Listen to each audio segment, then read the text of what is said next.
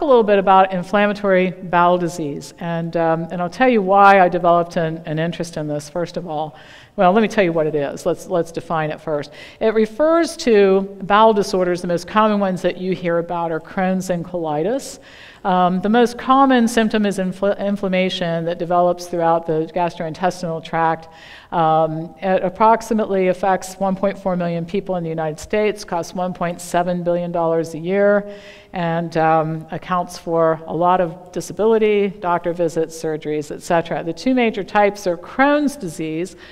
With Crohn's disease, the inflammation can develop anywhere in the gastrointestinal tract, from the mouth all the way through the body down to the lower intestine and uh, rectum.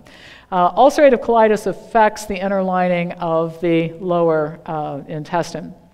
The symptoms are very similar for both uh, pain, bloody, mucus filled stools. Um, diarrhea, uh, it's not unusual to see these patients even medicated, having 20 bloody bowel movements a day. They generally live uh, having to know where the nearest restroom is, which restricts your activity a lot because, for example, if you want to go out hiking in the woods, um, that can be difficult, or canoeing, a lot of activities. A lot of the people that uh, uh, have come to our office for help have given up a lot of the things that they really like to do because of horseback riding, you don't get to do anything like that because the first thing you do is you get into a new place, you find out where the bathrooms are, and make sure you sit at the back of the theater so you can run out there 14 times during the movie. This is the way these people live. Um, both conditions usually run in cycles. They start out relapsing and remitting. At some point in time, um, they get worse. They, with age, particularly, they get worse. And as you run through the repertoire of medications, um, eventually nothing works. And if you go to the Crohn's and Colitis Foundation's website, they don't say it exactly this way, but I'll give you my interpretation of it. If you have colitis, you're really lucky because you can get cured by taking out your colon. What a lucky thing that is. If only these people knew how lucky they were. Apparently, they just don't understand their good fortune when they're having the colon taken out. I mean, come on. Whereas colitis, you can't take out the whole de- uh, gastrointestinal tract, so you're going to end up with symptoms no matter what you do. So, how I got interested in this, uh, and you can see the complications here, they're, they're miserable. Uh, absolutely miserable. These patients have no quality of life by the time this, finish, this is finished. So, how I got interested in this is that um, uh, a woman came to me about 16 years ago. She'd done some contract work for our company. And she had Crohn's disease. She said, You don't know this about me, but I've had Crohn's for 20 years. I spend six or seven weeks a year in the hospital. Um, right now, so I'm taking Remicade, and uh, I have a lump in my breast, I have a spot on my lung, and an abnormal pap test. And I don't know if the Crohn's is going to kill me or the Remicade is going to kill me. That's what she was taking. But I have to do something because I certainly can't go on this way. I said, Well, I didn't learn much about Crohn's and colitis. I mean, I learned about what it was in school, but certainly not anything that would change your life. But let me start doing some research. And this was the first, my first venture into doing my own research. Let's see what's out there. I mean, maybe there is nothing out there, but maybe there is something. And so I started doing research, and over the last 16 years, I've archived 2,000 studies on my server showing that the connection between diet and Crohn's and colitis. And I'll come back to my uh, person who contacted me back then. So um, let's talk about causes. The incidence of Crohn's disease is higher in urban areas than rural areas. Why is that? The diets are different there. Patients with Crohn's disease eat more sugar, refined carbohydrates, more omega 6 fatty acids, which are found in polyunsaturated oils and animal foods um, less fruit and vegetables. They improve on exclusion and elemental diets, and then they get worse when they go off those diets. Elemental diet is basically uh, vitamin fortified water. And I started looking at that thinking, is it vitamin fortified water that's making them better? Is it, or is it what they're not eating during that period of time? That became a very important clue. Dietary causes, diet and lifestyle are the likely causes when people move from an area of low IBD incidence to an area of high IBD incidence, you see an increase in risk. Diet high in meats and fatty foods, desserts has been associated with a higher incidence of Crohn's disease in children. Refined foods increases the risk of Crohn's and UC. Um, and, and so you look at the number of studies. I, I'm just giving you a smattering here, but you notice I'm pretty careful to put research on my slides. And, and I think that as you, as you start to become more discerning consumers of health information, when people just show you, like we were talking last night, making up stories, you know, um, this isn't about some, I'm going to tell you the story of what happened to this woman in a minute here, but, but the background on the situation isn't the story, it's the science that backs up the mechanism for the story that I'm going to share with you, and that's very important. High intake of meat, protein, uh, sulfur. Where do you find the sulfur? It's in the animal foods. Alcohol intake cause relapse for UC patients. Animal foods, particularly dairy products and, and eggs, are high in sulfur, and they aggravate the lining of the intestine, leading to increased risk of disease. Crohn's is more prominent in areas or more prevalent in areas of the world where dairy intake is higher. When dairy is removed from the diet of UC patients, they get better. When it's reintroduced, every single patient gets, uh, suffers relapse. In one study, an analysis of this study estimated that based on the average relapse rates, uh, relapse rates for Crohn's patients, the odds that these relapse, uh, relapses in response to bringing milk back into the diet uh, were, were chance were greater than 1,000 to 1. Okay? It was clearly the, the milk. You feed them milk, they get worse, you take it away, and they get better. So do you see? We don't have Esselstyn data, but are we starting to get a picture of what these people should not eat? Yeah, I think so. One study concluded that ulcerative colitis patients might actually have an allergy to milk. Um, and researchers reported a highly significant association between uh, circulating antibodies to cow's milk, similar to what we see in the type 1 diabetics that we were talking about earlier. Um, a study review of 19 studies, 2,500 patients with IBD, and you see the same story.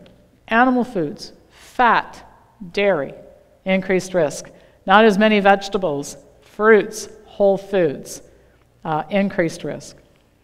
The study in Japan looked at the relationship between dietary changes and Crohn's and colitis, and what they found is increased uh, intake of total fat, animal fat, polyunsaturated fat.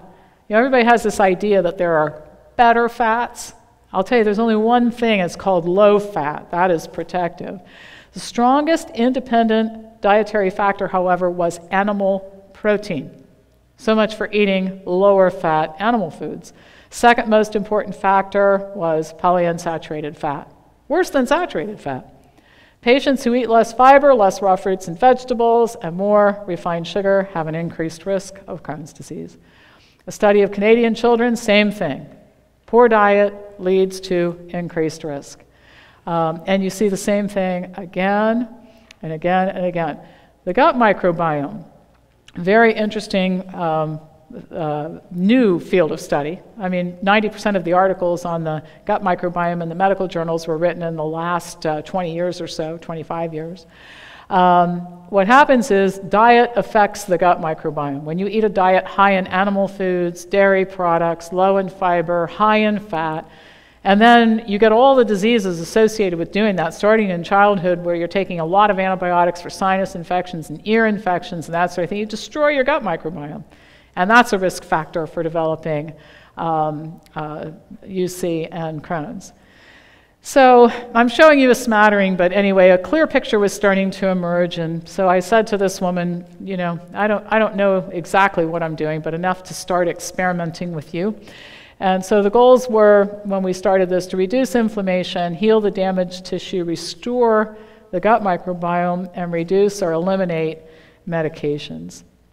And so um, what happened with her, and then I'll tell you how we did it, uh, is we started experimenting with ideas, and within a few months, she had a great gastroenterologist, by the way, who said, Listen, you're not getting better, you're getting worse and I'm interested in trying anything that would help you. So he took her off her meds and said, Let's see what happens. That was 16 years ago, and she is still a former Crohn's patient.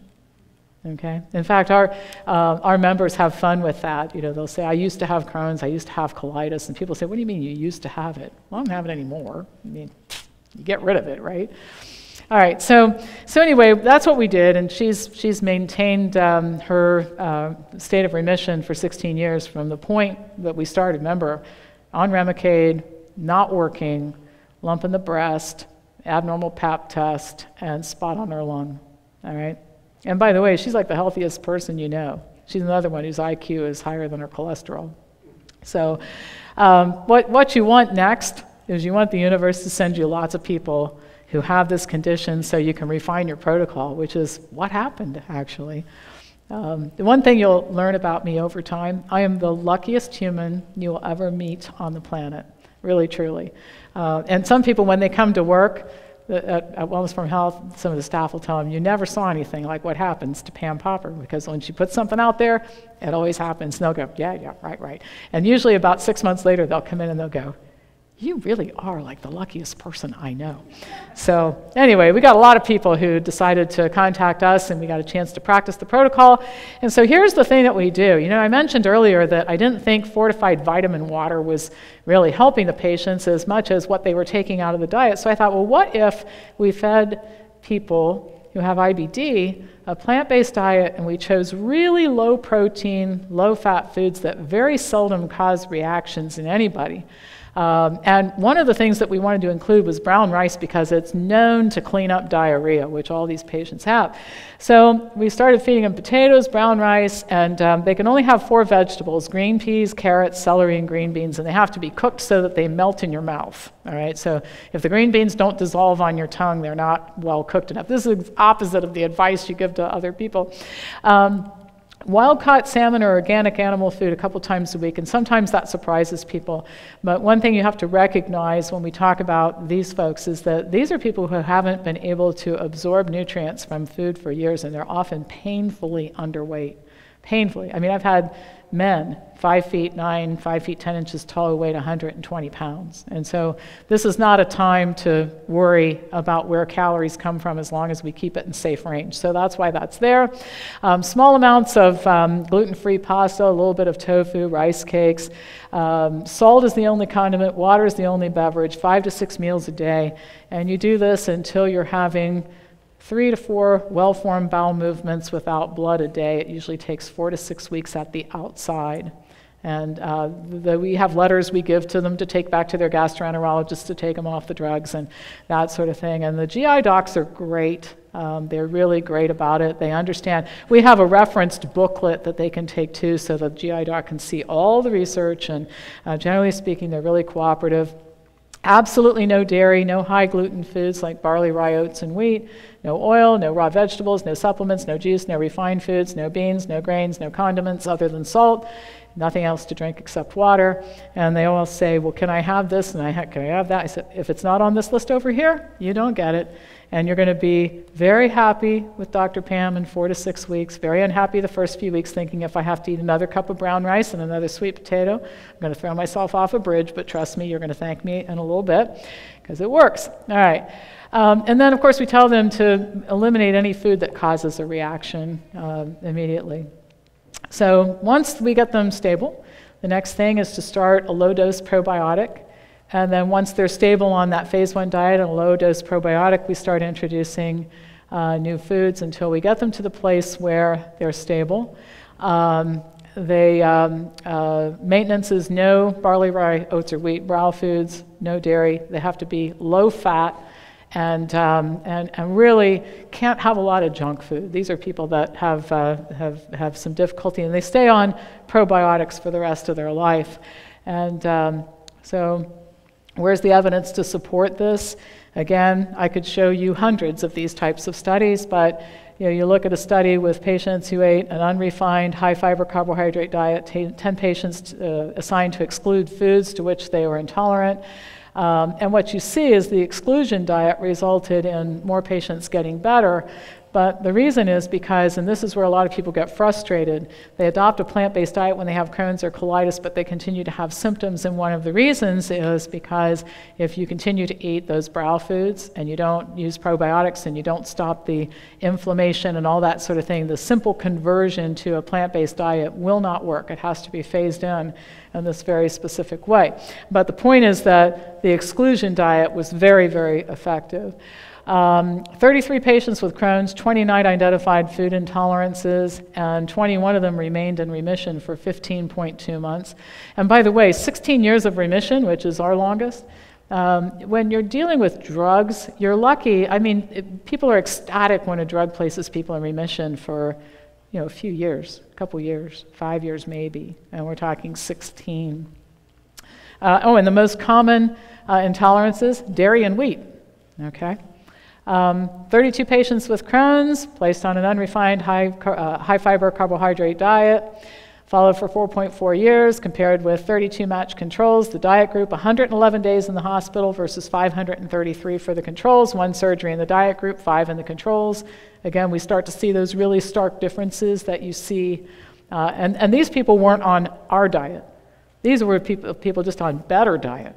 Okay? We don't see 111 days in the hospital versus 553. We see zero days in the hospital and zero surgeries. All right? Uh, relapse rates for UC patients are highest in patients who, um, let me step down a little bit, who ate more meat, protein, consumed the most alcohol. Fat reduction is really beneficial for Crohn's patients. Uh, one study showed that low fat diet resulted in significant reduction um, in the amount of, uh, of water and sodium excreted with bowel movements. 10 out of 13 patients began having solid bowel movements. And again, these people aren't eating our diet, they're just eating a better diet. Think what happens with an optimal diet. Um, again, we see studies here, here, you see how many are listed studies showing that gluten restriction works. So I'd love it if somebody would do an Esselstyn study on IBD, but we don't have to wait for that. That's the point. And you guys come up with any disease, any disease you want, and we start looking in the medical literature, and I promise you, you will find this type of data for acne, for arthritis, for osteoarthritis, for migraine headaches, for diabetic neuropathy. Pick a disease, you see the same thing. We have enough research. Exclusion diets that involve excluding gluten and dairy, same thing. Dairy, frequency of bowel movements, status of health decreases um, or increases, increasing numbers of bowel movements, status of health decreases with dairy. Um, diet versus drugs, the diet works better. And remember, they weren't using a diet like mine. Probiotics, uh, evidence shows probiotics help Crohn's and colitis patients. Uh, so, in other words, and, I, am showing you a smattering. I mean, really, we would have to be here until Monday for me to go through a fraction of the stuff we could talk about. I mean, we could spend the next two hours talking just about probiotics and Crohn's and colitis. But, but the reason I'm showing you this is because I want you to know that this is not something I dreamed about one night you know, and, and woke up and said, let's try this. This isn't some type of storytelling going on. There's a lot of evidence to document every little thing I showed you the reason why we use certain foods, the reason why we introduce foods in a certain order, the reason why we introduce probiotics at a specific point in time. We have research to show that. Now, I am going to have to step down here to read this. This is a woman who allowed me to use her name. Um, this is before dietary intervention. And she says, quote, even though I was on medication for Crohn's disease, I still had frequent symptoms at 30 years of age. This disease seemed to have take over my li- taken over my life. I found myself not doing things I once enjoyed. My life revolved around the restroom. When I went somewhere with my kids, they would see one and tell me where it was in case I needed it. I stopped making plans with friends. As a single parent, I was afraid of losing my job because all of the frequent restroom trips I was having to make. And I just took two paragraphs from her story. But this is a few weeks after. Weeks, not years. Living my life now has become more worry free. I can make plans with friends and family and go places with my kids. It's nice to not worry about where the closest restroom is or even if I'll make it on time. A great example of change I used to love riding on the back of my friend's motorcycle, but when the Crohn's took over my life, I was afraid to ride anymore. I even sold all my riding clothes because I thought I would never be able to ride again. But now I date somebody who rides and I'm always going on trips with him. Crohn's disease no longer controls my life. And that particular person adopted this diet in 2012, still symptom free in remission. And that's what we see time and time again. You do not get this with drugs. You do not get this response with drugs. So, the bottom line, and I wanted to make sure we left some time for questions, which we'll take next, but the cost, cost or the cause of most common degenerative diseases is diet. An optimal diet's the best way to prevent, stop, reverse disease. The medical journals contain thousands of articles. You just have to have enough curiosity to look for them. And, you know, I get a lot of interns in my office. I'm blessed with interns um, these days. They come from Europe, they come from all over. I had a woman from Berlin with us for four months this year, medical students, dietetic students, nurses. And when they come in, um, it's an experience. They always say at the end, I've had never had any experience like this. But I always tell them if you're going to be a good clinician, whatever specialty, you're going to be a medical doctor, dietitian, whatever, if you're going to be a good clinician, it's going to be because you develop something called the curiosity gene, where you start tracking down information, you start getting geeked up about finding this stuff. And, and what we see with interns, the first couple weeks they're there, they act like they've been inducted into slavery. They sit at the computer. Of course, we feed everybody really well at my office, but you can just see it's sort of like drudgery till you get the hang of it. And then invariably, what happens, and, and you can see their faces light up. I just had one in the office the other day who had really struggled with this, and he said, I think I know what you mean now. I said, What do you mean? He says, I start digging into this material. I don't want to eat. I don't want to go to the bathroom. I want to cancel dinner with my friends. All I want to do is I just want to sit here and find more stuff. I said, You are going to be a great doctor because you have the curiosity gene. That's the key to all this. So it's all there.